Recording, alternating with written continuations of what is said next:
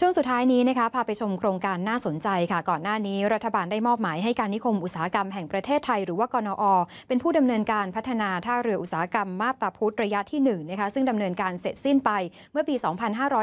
2535 และท่าเรืออุตสาหกรรมระยะ 2 ค่ะดำเนินการเสร็จสิ้นในปี 2542 ทั้งนี้เพื่อรองรับการเติบโตการส่งออกสินค้าภาคอุตสาหกรรม ซึ่งส่งผลต่อเศรษฐกิจของประเทศในภาพรวม แต่ขณะเดียวกันนะคะการขยายตัวของการส่งออกนั้นทำให้ศักยภาพท่าเรือในการรองรับสินค้าเริ่มมีขีดจำกัด และส่งผลให้กนอต้องเริ่มดำเนินการตาม master plan ที่กำหนดเอาไว้ ตามแผนพัฒนาพื้นที่ชายฝั่งทะเลตะวันออกค่ะ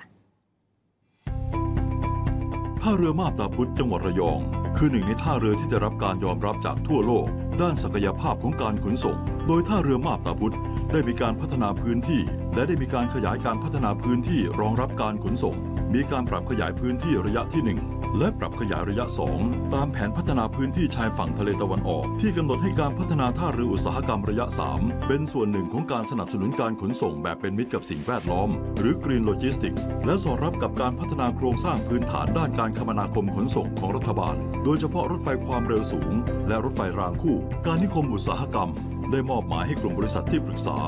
ดำเนินการศึกษาความเหมาะสม รวมถึงการศึกษาและจัดทำรายงานการวิเคราะห์ด้านผลกระทบสิ่งแวดล้อมและสุขภาพ EHIA ภายใต้การมีส่วนร่วมของประชาชน เพื่อให้ประชาชนและผู้มีส่วนได้ส่วนเสียทุกฝ่าย ได้รับรู้ข้อมูลข่าวสาร และเสนอความคิดเห็น ข้อเสนอแนะต่างๆ ที่เกี่ยวข้องกับการพัฒนา